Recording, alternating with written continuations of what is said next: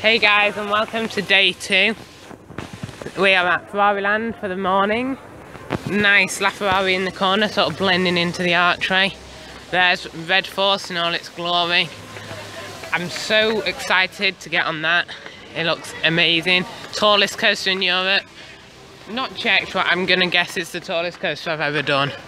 Um, there's the Thrill Towers, there are actually two, although it only looks like one. And whoa, look at that. That is nice. Obviously Italy in the corner. But yeah, looking forward to a good day out today. So, we're waiting for Red Force, aren't we? And we hear it launch, or we hear it start to launch, and then it just sort of is quiet, and I didn't know whether it was just because of what I was doing, and then I'm looking over to the top hat. It just never never came. Uh, and yeah, mum sat in the grandstand over there and she said it's just stopped on the launch straight. So, and it's very slowly coming back and we can, no, we can hear the motors whirring. There it is. Oh yeah. But yeah, obviously it's designed for this and all that, so I'm not worried. It's a bit, yeah, a bit weird really.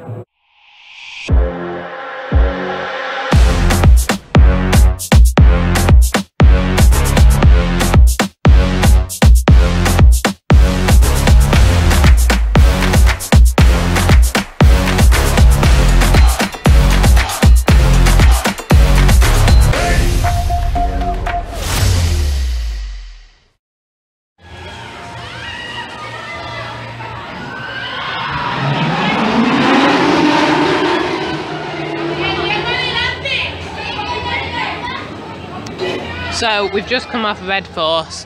Luke and Dad got front row, I got third row. I didn't really want to do front row. I'm just a bit scared. But wow, that was good. Um, it's nowhere near my top coasters. I'm not a massive launch coaster fan, although having said that, I did love Icon. Uh, yeah, it was fast. Uh, you got some great views from the top, but you got airtime pretty much all the way down that top hat. It was a little bit rough though, I was a bit disappointed on how rough it was. Uh, but yeah, what was your thoughts, Luke? I am not sure whether that's my new favourite roller coaster in the world. Yeah, I know it's think- definitely second, so Shambhala's now third, but I'm not sure whether it's third. Uh, yeah, I know Dad's the same as well, isn't he? But uh, yeah, a really good coaster, although we did wait an hour for it, which kind of ruined my opinion a bit because I do not think it was worth an hour. Luke and Dad probably do. But yeah, I didn't try front row, I was just a bit too scared. Whether that would have changed it, I don't know. But yeah, uh, an hour's queue because it broke down twice and they also changed every one of the trains. But yeah, a good solid coaster, but uh, still feel like there's not. There is. It's starting to become a park now, but I feel like they could have just added this into the normal theme park. But good ride, good first ride of the day.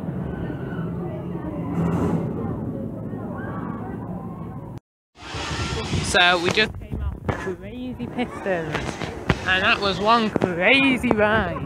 I'm sort of hanging behind the group. and there's glorious red force. I really did enjoy that. Uh, but yeah, some interesting forces. I got airtime. I'm not even sure how I got airtime. It doesn't make physical sense, but I did. Uh, the restraints were horrendous, but the ride was interesting. I've never seen one before, and I wouldn't be surprised if that's a unique ride because I can't imagine any other park that wants to theme their rides to pistons. But interesting theme. Yeah, it was a weird ride. Uh, I haven't done many flat rides, but I can only guarantee that was a weird flat ride. You're sort of getting pushed in down your bo- downwards and then into the side, and then you get a bit of airtime over the top. But yeah, we're queuing up for Junior Red Force. In fact, there it goes. Interesting ride, anyway. So we're queuing up for Junior Red Force, or the McDonald's coaster, as I like to call it.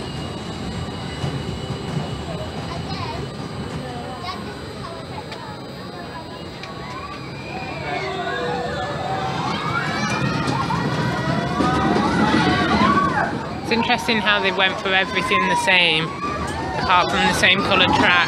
But yeah, it's also got the break on the hill there, So, interesting ride. Yeah, should be fun. Two lap special, of course.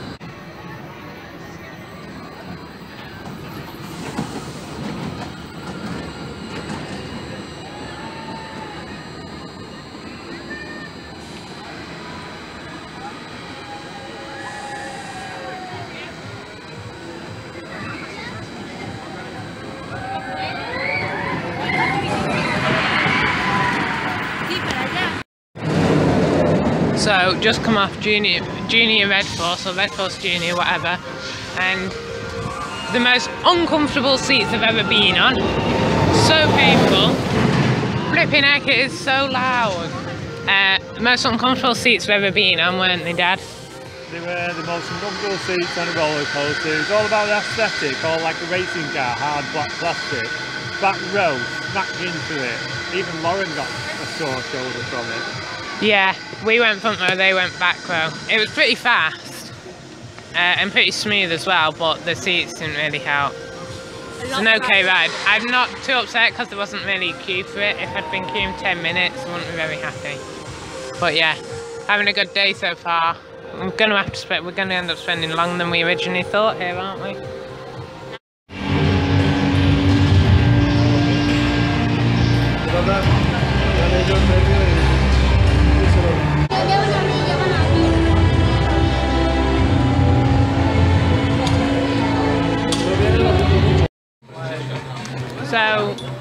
We came off the Maranello Grand Race, went into Flying Dreams, then went into Racing Legends, which are the two simulators.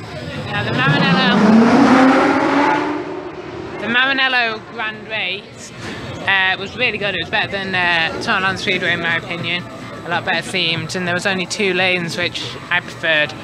But uh, then we went into Flying Dreams, is it, Dad? Yeah. We did Flying Dreams, which is like soaring at Epcot, and that was that was really good. That was, I don't know, I think I prefer that to soaring just because uh, of the and stuff, but really cool. And then we did Racing Legends, which, yeah, don't bother, basically. Uh, it was a bit rubbish. Um, yeah, what did you think? Oh, I mean, what I, what I, I didn't know what to expect from coming here, and I thought Ryland was really all about Red Force and some other kiddie rides, and they put them two drop towers in, drop tower and shop tower. I now realise it's not, it's the Red Force, and then them two cinemas, and that's two sort of marquee. And yeah, the one that's the um, the soaring type one is really good, probably better than soaring in my opinion. And the other one, they're trying to make a really good simulator ride, which is not quite achieved it. But I think you've got limitations. It's like a cross between a 4D cinema and a simulator, but it's neither really. Yeah, Well, 'cause- you can see that the two big attractions, those things. because we've done uh, we've done the Jimmy Fallon ride in Universal, which was the same system, Yeah. and I remember that being better than that. A bit yo creo que no te da tiempo. of- a bit more over the top. Yeah, All- All these simulators, you can't really simulate what they're trying Yeah. to show you. Luke, what did you think? I didn't really like the racing. I thought the Flying Dreams was amazing. I was blown away. But Racing Legends, I think they could, they could improve it definitely. Yeah, it was a bit weird, but yeah, both some good simulators. Uh, but flying, if you only get to do one Flying Dreams, is definitely the one to choose. But yeah, we're queuing up for Force because it's now on a 10 minute wait. Having another go on it.